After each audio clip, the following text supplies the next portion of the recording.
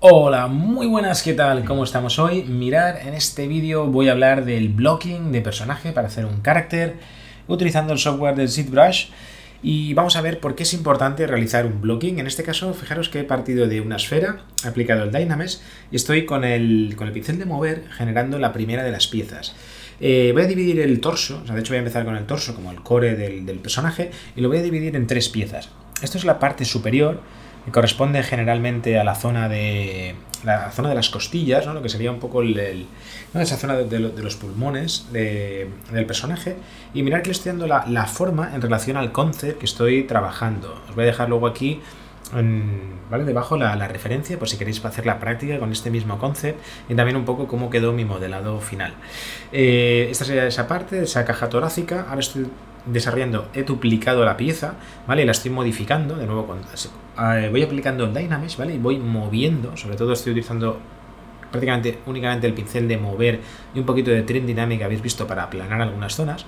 Ahora quiero hacer la zona del estómago, la zona de la barriga, lo que quedaría por debajo de, la zona de la caja torácica, ¿vale? Un poco zona abdominal, abdominal, eh, los abdominales frontales junto con los oblicuos, etcétera. Eh, os recomiendo que este proceso lo hagáis con tiempo, que vayáis comparando constantemente vuestro, vuestro trabajo con, con la referencia, ¿vale? Es como estamos creando la estructura, la base de nuestro personaje y de aquí dependerá que luego realmente consigamos un nivel alto de parecido o no, ¿vale? Es, una, es una, parte fundamental. Mirar, continúo duplicando, he duplicado otras de las piezas y de aquí voy a colocar el cuello. Recordar que el cuello, ¿vale? Trabajar siempre las piezas en simetría.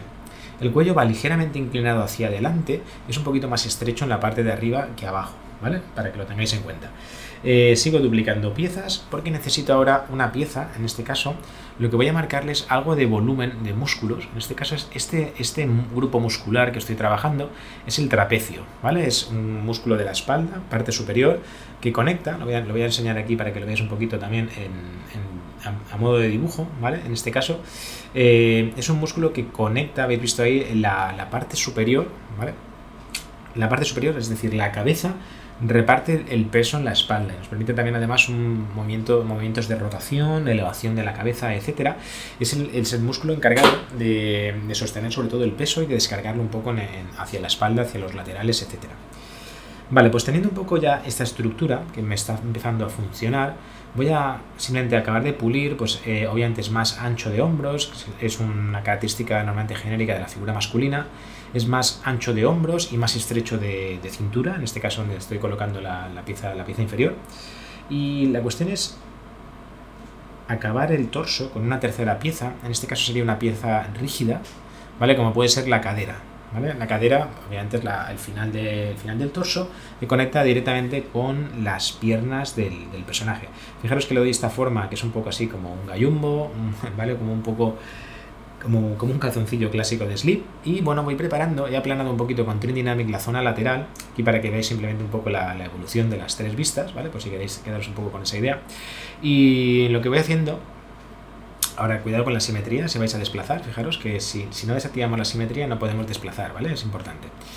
Quiero no desplazar tanto, sino como duplicar, porque desde aquí voy a aprovechar esta misma pieza, que la estoy simplemente rotando, puedo aplicar Dynamesh, moverla, etc. Desde aquí voy a construir, en este caso, el, el hombro de mi personaje. Generalmente a nivel de dibujo es como un cuarto de esfera, ¿vale? Mirad, aquí he cambiado el fondo.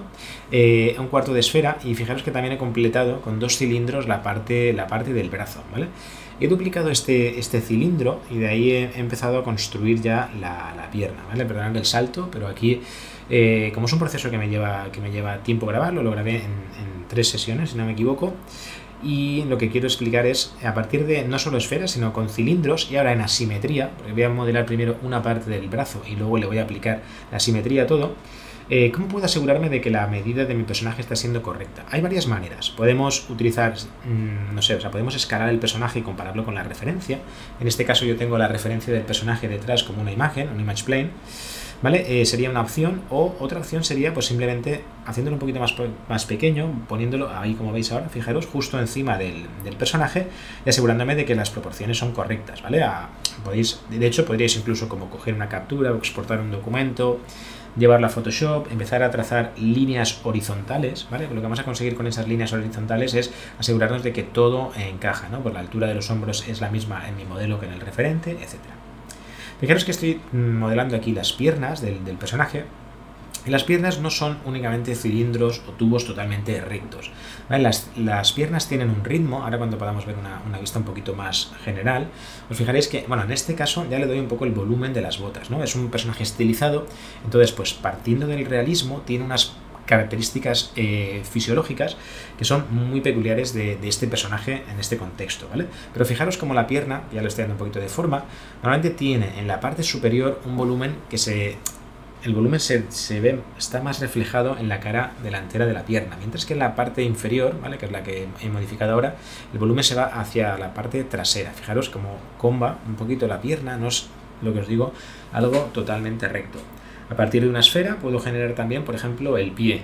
En este caso, lo que os digo, el pie no podemos eh, subestimar, digamos, de alguna manera el tamaño. O si, cojo el pie de la referencia, es prácticamente tan grande como la, cabeza del mismo. ¿no? También es un poco el punto de vista, que es como un contrapicado.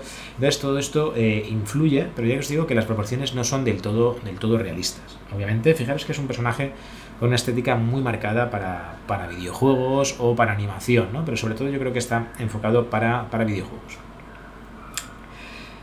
Es cuestión de ir midiendo, es cuestión de ir eh, controlando, decidiendo qué pieza, ¿no? En este caso es una esfera más, voy a, voy a marcar únicamente el volumen de la rodilla un poquito, lo que sería sobre todo la cara delantera de la misma, que a nivel eh, de óseo pues sería un poco la rótula, ¿vale? Todos tenemos esa pieza que es un poquito, que es como la parte delantera, que nos, nos ayuda también, nos permite articular ¿no? en, esa, en, esa, parte del cuerpo.